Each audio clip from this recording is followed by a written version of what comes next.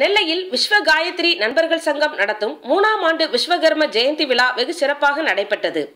இவ்விழாவினை முன்னிட்டு பாலையில் அமைந்துள்ள கண்ணார் மடத்தில் காலையில் கணபதி ஹோமம் விஸ்வகர்ம ஹோமம் மரம் நடும் விழா விஸ்வகர்மாவுக்கு சிறப்பு ஆராதனை உள்ளிட்ட நிகழ்ச்சிகள் நடைபெற்றன.